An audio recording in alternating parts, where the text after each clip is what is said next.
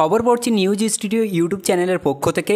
শুরুতেই জানাব আজকের তাজা খবরের হেডলাইন্সগুলি। আজ বৃষ্টির দিনের তাজা খবর। কৃষকদের জন্য রয়েছে সুখবর। পুজোর আগেই অ্যাকাউন্টে ঢুকবে দুই হাজার টাকা করে। বাংলার আবাস যোজনায় এগারো লক্ষ বাড়ি ডিসেম্বর থেকেই টাকা দেওয়া শুরু। জানাব বিস্তারিত খবরে।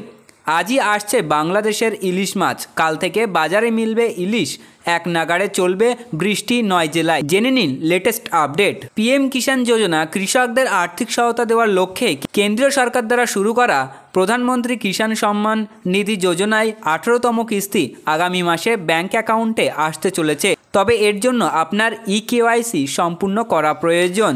পাঁচই অক্টোবর কৃষকদের অ্যাকাউন্টে টাকা ট্রান্সফার করা হবে। প্রধানমন্ত্রী কিষাণ সম্মান নিধির ওয়েবসাইটে অনুসারে প্রধানমন্ত্রী নরেন্দ্র মোদী পাঁচই অক্টোবর কৃষকদের আঠেরোতম কিস্তি প্রদান করবেন। এই প্রকল্পের অধীনে কেন্দ্রীয় সরকার দেশের দরিদ্র কৃষকদের বার্ষিক ছয় হাজার টাকা আর্থিক সহায়তা প্রদান করে।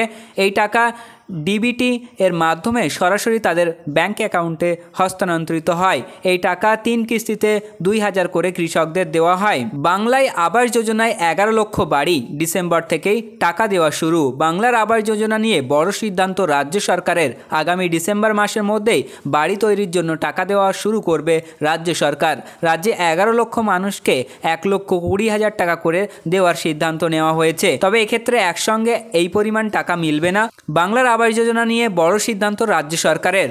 কেন্দ্রকে বাদ দিয়ে এই প্রকল্পের নাম বাংলার আবাস যোজনা রাখা বলে নবান্নর খবর। বুধবার এই সংক্রান্ত বৈঠকে আবাস যোজনা নিয়ে একাধিক প্রশ্ন উত্তর নেওয়া হয়েছে। বৈঠকে উপস্থিত ছিলেন মুখ্য সচিব মনোজ পান্তা। এছাড়াও ছিলেন সংশ্লিষ্ট দপ্তরের সচিব থেকে শুরু করে প্রতিটি জেলা শাসক। দু হাজার বাইশ সালের ডিসেম্বর মাসে কেন্দ্রীয় সরকার এগারো লক্ষ বাড়ি তৈরির প্রশাসনিক ছাড়পত্র দিয়েছে, কিন্তু টাকা বরাদ্দ করা হয়নি। তাই মুখ্যমন্ত্রী জানিয়েছে, রাজ্য সরকার বাড়ি তৈরি করে দেবে। তো সুপ্রিয় দর্শক এই ছিল আজকের গুরুত্বপূর্ণ খবর। পরবর্তী ধরনের গুরুত্বপূর্ণ খবরগুলি পেতে অবশ্যই আমাদের চ্যানেলটিকে সাবস্ক্রাইব করুন এবং আপনি কোথা থেকে দেখছেন, ভিডিওর নিচের কমেন্ট সেকশনে জানাতে পারেন।